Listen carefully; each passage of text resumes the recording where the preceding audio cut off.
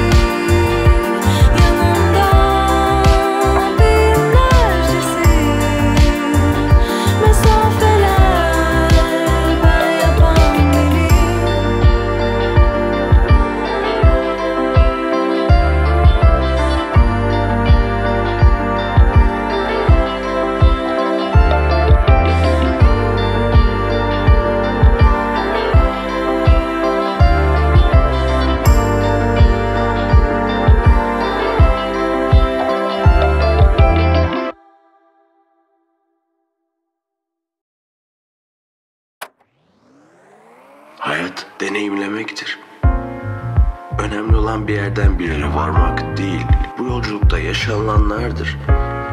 Her gün gitmek istediğimiz yere daha hızlı gidiyor, görmek istediklerimizi daha hızlı görüyor.